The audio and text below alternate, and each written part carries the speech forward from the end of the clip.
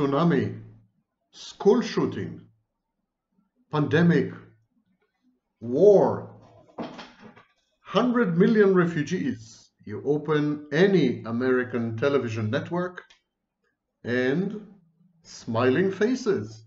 Good to be with you, Judy. Everyone is smiling all the time. And it is so fake. It's fake. And it's a metaphor the narcissism of our age. Because narcissism is a fake, feigned facade hiding beneath a catastrophe, hiding depression. And today's topic is the narcissist three types of depression. Narcissists are almost habitually depressed. They just don't know it. And they are not happy-go-lucky, as is often portrayed, even in scholarly literature. Today we know that what we used to call overt narcissist is actually a subspecies of psychopathy. It's a kind of psychopath. And that the only true variants of narcissism are the com compensatory narcissist and the covert narcissist. The compensatory narcissist compensates. He puts forth a brave facade, a false self, which is everything the narcissist is not. The false self is omniscient, knows everything, is omnipotent, is all-powerful, perfect and brilliant, when the narcissist actually has an inferiority complex. Narcissist is insecure, full of shame.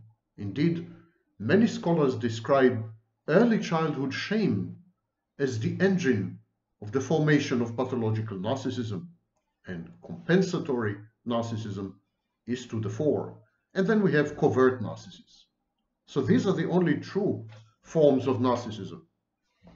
All other forms of narcissism, the grandiose, in-your-face, Donald Trump type of narcissism, that's actually a subspecies of psychopath. And so we will deal with it at another time. At the core there's no core, but had there been a core, there's depression. Depression coupled with shame and to some extent guilt. These are, of course, repressed emotions. The narcissist has no access to these founts of hurt and pain, primordial hurt and pain. The narcissist, exactly like the borderline, is terrified of dysregulation, of being overwhelmed, overwhelmed by his emotions. But the narcissist solution is to suppress and ignore emotions, especially positive emotions. And this is self-betrayal. This is self-denial. The narcissist doesn't love himself. He loathes himself. He hates himself. And he wants to put as much distance between himself and himself, between his false self and the repository of his agony, the true self. The memories of abuse, trauma, parentifying and instrumentalizing, not being allowed to separate and to become an individual and to self-actualize. There's a lot of anger, a lot of frustration, a lot of pent-up rage there. And so the narcissist cannot allow himself to re-experience this. And he betrays himself, he denies himself, he puts himself down, he buries himself, he covers himself, he constricts himself. And this, of course, creates depression. Whenever we don't allow ourselves to be ourselves, whenever we don't actualize our potentials, we never, whenever we are inhibited and cannot freely express who we are, the reaction is depression because it's a form of self-directed aggression. Depression has been long described as a form of self-directed aggression. To not allow yourself to manifest, to not let yourself express yourself autonomously, agentically, self-efficaciously, independently and freely, that's a knife in your own back. You become your own worst enemy. And of course, this creates anxiety. And anxiety, prolonged, becomes depression. The narcissist suffers from three types of depression on a regular basis. A little disambiguation before we proceed. There's a difference between dysphoria, depression, and anhedonia. Dysphoria is a general state of malaise, an unease, a discomfort, and kind of ambient sadness. One of the manifestations of, this, of uh, dysphoria is known as dysthymia. It's a dysphoric type of depression. Then there is depression. In its most extreme case, most extreme form, depression is known as clinical depression, or more precisely, major depression, a major depressive episode, for example. But depression has milder forms. It's a whole spectrum. But what depression means is um, loss of vitality, a loss of elan vital, a loss of libido, if you want to use Freudian terms. The inability to engage in life, on life, and with life, a rejection of life. Depression is about withdrawing, avoiding, shunning, limiting, constricting, cocooning. Depression is about dying while still alive. That's depression. Now, it doesn't mean that all depressed people, all people with even major depression, just lie in bed and wait for the inevitable to happen. That's not true. Actually, many depressed people, I would mention Stephen Fry, Winston Churchill, and others, many depressed people are actually hyperactive. They're trying to compensate, they're trying to drown out their depression by being super active. Many women, for example, engage in sexual self-trashing as a form of fighting off depression. Substance abuse, of course, is another activity that is intended to allay, mitigate, and ameliorate depression. And then there is anhedonia. Anhedonia is a, the inability to enjoy doing anything, not finding pleasure in any activity, any person, any place, any plan, simply being unable to experience pleasure. Okay, back to the topic, the narcissist. The narcissist experience, experiences three types of dysphoria, which can easily and often do easily deteriorate, degenerate, or escalate, if you wish, into depression. The first one is what I call the loss-induced dysphoria. Now, we all experience losses. Losses are very important in life. Losses drive us forward. Losses are engines of growth, personal development. Losses are good for you. You should seek out situations which are emotionally risky, situations where there's the possible outcome of pain and hurt and loss, because that's the only way you can evolve. It's part of constant healing, this scar tissue becomes your identity. In the absence of loss, when the child, for example, is totally isolated from reality, from harsh reality, is, is totally prevented, prevented from experiencing rejection and loss, this kind of child never becomes adult, never individuates, is never happy, and is very likely to develop personality disorders, mood disorders, and other types of anxiety disorders, other types of disorders. So loss is good for you. But the narcissist reacts to loss in a very particular way. Loss-induced dysphoria is the narcissist's depressive reaction to the loss of one or more sources of narcissistic supply. I refer you to my last two videos. One of them deals with how does the narcissist experience deficient narcissistic supply? How does he experience collapse? And the second video I've made is about self-destructive narcissists and psychopaths. And this is the third in the series. So when the narcissist loses sources of narcissistic supply, or when his pathological narcissistic space disintegrates, he reacts with loss-induced dysphoria or loss-induced depression. To remind you, pathological narcissistic space is the stalking, the stomping, the hunting grounds, the haunts and the dives, the physical, physical locations, the social unit whose members lavish the narcissist with attention and narcissistic supply. It could be a pub, a church, a workplace. So when the narcissist loses his pathological space, he also loses his sources of supply. And very often, when he loses too many sources of supply, he had actually lost a pathological narcissistic space. He cannot cope with this. This is the kind of loss that threatens his equilibrium, the precarious, precariously balanced thing that passes for his personality. In the absence of narcissistic supply, the narcissist is voided, nullified, evaporates.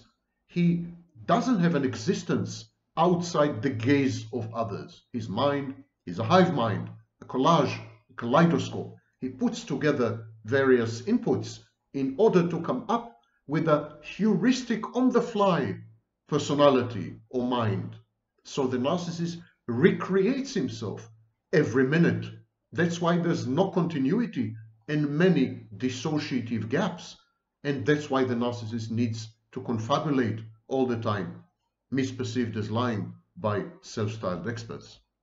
And so when the narcissist loses his narcissistic supply, he thrashes about, he tries desperately to regain his footing, he tries to somehow find alternatives. And if the failure continues, he begins to develop depression. Depression is a signal to the narcissist. You should become schizoid. You should withdraw. You should avoid because the pain and the hurt are going to lead you to narcissistic mortification from which you may not ever emerge or which you may not survive. The second type of depression that the narcissist experiences is what I call deficiency-induced dysphoria. Deficiency-induced dysphoria. Deep, it's a deep and acute depression. So the previous depression, the loss-induced dysphoria, is kind of ambient. It's kind of in the atmosphere. It's all, all permeating, all pervasive. It's very, very similar to dysthymia and easily confused and misdiagnosed even by clinicians, experienced clinicians. The second type is acute. Deficiency-induced dysphoria is deep. It's acute. It follows losses, abrupt losses of supply sources or pathological narcissistic space, sudden, unexpected, unpredicted um, uh, denial of narcissistic supply by people, places who hitherto had been reliable providers. So there's this group of people who provide the narcissist with narcissistic supply. This could be four people or four million people, a political party or a family, church or a workplace. So there's this group of people. They provide the narcissist with narcissistic supply and then suddenly on a dime, overnight, they stop doing so. They stop doing so because they have come across new information about the narcissist or because the narcissist it was a fashion or a fad. What he had to offer was a fashion or a fad, and it was passing, of course, or for any other reason. They found a new idol. Whatever the case may be, the abruptness is what brings on the deficiency-induced dysphoria. Having mourned and grieved these losses, the narcissist now mourns and grieves the inevitable outcomes of these losses, the absence or deficiency of narcissistic supply. Paradoxically, the deficiency-induced dysphoria energizes the narcissist, moves the narcissist to find new sources of supply to replenish the dilapidated stock. In other words, the deficiency-induced dysphoria is the trigger, is the initiator of the narcissistic cycle. I encourage you to watch my, my videos about the narcissistic cycle. He if in a romantic sense, he begins to love bomb and groom, he finds a, an intimate partner for a shared fantasy, finds another workplace, moves to another city. This is all, this is all engendered by the deficiency-induced dysphoria. So it's a catalyst, catalyst for action. In essence, a positive thing. The last this type of dysphoria, the last type of depression that the narcissist experiences is the self-worth dysregulation dysphoria. So just to recap, we have the loss-induced dysphoria when gradually sources of supply in the pathological narcissistic space fade away. So it's a prolonged, continuous, predictable process. Then we have the deficiency-induced dysphoria, which is a, an acute response to abrupt loss of supply. And then we have the self-worth dysregulation dysphoria.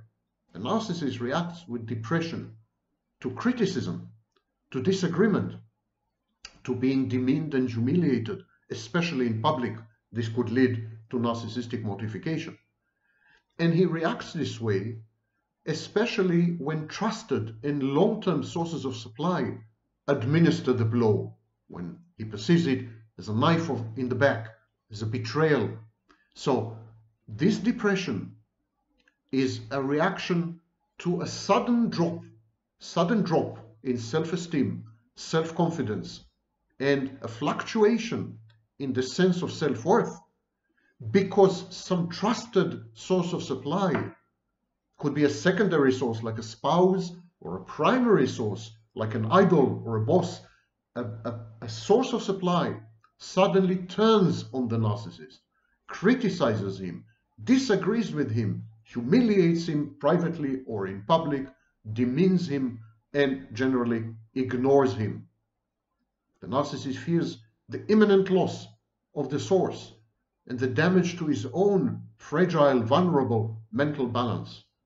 The narcissist also resents his own vulnerability and his extreme dependence on feedback from others. And this type of depressive reaction is therefore a mutation of self-directed aggression, kind of a self-punitive depression. You are you're a zero, you're a doormat, you're dependent, you're not as powerful as you thought you were. It's a crisis of identity. It's an undermining of the grandiosity cognitive distortion, which is a ma major defense associated with his fantasies. So when this all crumbles, the narcissist can't regulate his sense of self-worth anymore because he can do it only from the outside. So when the outside sources are gone, his sense of self-worth fluctuates wildly and then settles at a very low ebb. The narcissist begins to regard himself exactly the opposite, as inferior, as a victim, as a failure. He feels defeated and deflated, and this is very depressing. Narcissists mourn the loss of narcissistic supply. They grieve over vanished sources of supply. They bemoan the injustice and discrimination that they suffer at the hands of their inferiors, especially covert narcissists who are passive aggressive. Narcissists are often in a bad mood, actually, anhedonic, dysphoric, aggressive, and outright depressed. The narcissist's mood swings are self-destructive and self-defeating. So yes, narcissists suffer from mood lability, exactly like borderlines. This is acknowledged for the first time in the alternative model of narcissistic personality disorder in the Diagnostic and Statistical Manual, edition 5, 2013. Page 767 for all you lazy bums. Okay, Shoshanim. Many scholars consider pathological narcissism to be a form of depressive illness. You remember, those of you who are still watching my videos, an ever-dwindling number, you remember the videos I've made um, separately and with Richard Grannon about the prolonged grief syndrome. The prolonged grief syndrome starts with the narcissist actually. He, as a child, he grieves his inability to separate and individuate. He mourns his unrealized potential, what he could have become and never will. So this prolonged grief he then exports to his intimate partner. But if prolonged grief is the foundation of the narcissistic defense and the fantasy defense, if this is the foundation, then pathological narcissism can be easily described as a depressive illness. This is actually the position of the authoritative and prestigious magazine, Psychology Today. The life of a typical narcissist is punctuated with recurrent bouts of dysphoria and depression, ubiquitous sadness, a sense of helplessness and hopelessness, anhedonia, loss of ability to feel pleasure, and other clinical forms of depression, cyclothymic, dysthymic, and so on. Narcissism, pathological narcissism, is comorbid with or dually diagnosed with mood disorders very frequently. Actually, in some cases, we confuse, we, we misdiagnose bipolar disorder as narcissistic personality disorder. The picture is obfuscated by the frequent presence of mood disorder such as bipolar 1 um, with narcissism. So it's a very, a very murky picture. But I think it's time to accept that narcissism is not about elation. it's not about joy and cheer. These are not happy-go-lucky people. These are heavily wounded, traumatized, grieving, mourning, sad, depressive people. They're trying to compensate for this by pretending to be happy-go-lucky, joyful, cheerful, I can't be touched, my way or the highway, in your face, I'm the best um, message. It's compensatory, it's infantile, it's, it's, it's hilarious, it's, it's pathetic. The distinction between reactive depression, exogenous depression, and endogenous depression. We don't use this distinction anymore. It's obsolete. But I think in the context of narcissism, it is still very useful. The narcissist has two sources of depression, one of them internal and one of them external. Externally, the narcissist reacts with depression to a loss of supply. It's very simple. But there are engines of depression inside the narcissist.